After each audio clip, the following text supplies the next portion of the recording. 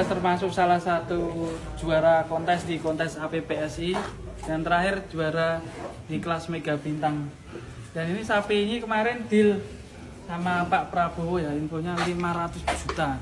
Presiden terpilih 2024 yakni Prabowo Subianto rupanya juga turut melaksanakan ibadah berkurban.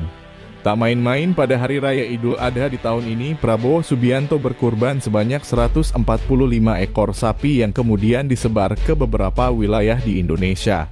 Dari jumlah tersebut, sebanyak 89 ekor sapi disalurkan langsung ke Dewan Kemakmuran Masjid, Pondok Pesantren, Yayasan Yatim Piatu, dan ke sejumlah ormas Islam. Sedangkan untuk 48 ekor sapi lainnya diserahkan ke warga Bogor. Hal ini dikarenakan Bogor merupakan tempat kediaman Prabowo Subianto. Sedangkan untuk sisanya didistribusikan ke sejumlah provinsi di Indonesia mencakup Sumatera, Sulawesi, Papua, Maluku, Kalimantan hingga Jawa.